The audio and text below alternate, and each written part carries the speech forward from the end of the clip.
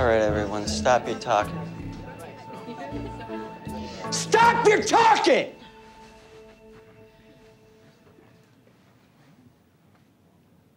My name's Arthur Schneedy. Corporate transferred me over here to shape this department up. And shape it up I shall. I want to be brief so we can all get back to work, so I'm just going to turn it over to the head of building security, Melanie Brickman. Melanie, you want to take it? Uh, it's Melissa, sir. Melissa. Melissa Brickman. Good morning, people. My name's Melissa Brickman. My friends call me Brick. But none of you are my friends. So you can just disregard that little peek behind the curtain. I'm sure you've all noticed the yellow caution tape blocking off the hallway, and I'm sure the foodies among you have noticed the department kitchen is closed, right?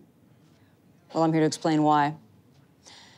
Got here around five this morning, did my usual rounds. Nothing was out of the ordinary. Everything seemed hunky dory. It wasn't until about six when Mr. Schneedy called and informed me that something was, in fact, amiss. Mr. Schneedy, you want to go ahead and tell them what you told me? First thing I did in the morning, I, I made a beeline for the coffee machine. I fired that baby up. I gave her a few minutes. Came back to pour myself a cup of Joe. But when I tipped the carafe, nothing came out. Not a goddamn drop. First, I was confused. I was disoriented. And then I spotted it. A power cord had been slashed. That's right. Somebody sabotaged the coffee machine. Now, once Mr. Schneedy informed us about the crime, my boys did a sweep of the department kitchen and concluded that the machine had been sabotaged, most likely over the weekend. So the only people who would have had access are employees of Field Publishing Accounts Department, which means everyone in this room. Now, Mr. Schneedy has requested an investigation, so we're going to be setting up shop in the conference room next door. We're just going to ask you all to stop by, answer a few questions. With all of your cooperation, we hope to settle this matter by the end of the day.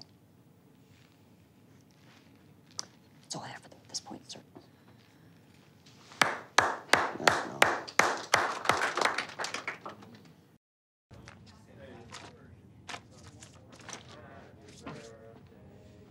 How are you, Daniel? Good. Good. Care for anything to drink? Water, soda, anything like that? No thanks. I'm okay. Coffee? I thought the coffee machine was broken, I'm so just kidding. Get your wits about you. You'd be shocked how many we fooled with that one. What time did you arrive at work this morning, Daniel? around nine, I, I think. When you got here at nine, what did you do? I walked in and I saw, you know, the, the crime scene. Asked what was going on, and then I went into my office. Daniel, look me in the eye. Did you sabotage the coffee machine? Are you serious? Oh, I'm dead serious. It's a simple yes or no question. No. Daniel, look me in the eyes. Did you sabotage? No. Let me finish the question. I know what you're going to ask, so Wow. You seem to have a strange affinity for telepathy. I did not sabotage the coffee machine. That'll be all, Mr. Crawford. Thank you. Thanks for all your good work. Oh, hey. Well, you know, you train, you prepare, and when shit hits the fan, you just hope that muscle memory kicks in. Well, it did, and I thank you. Now you should go.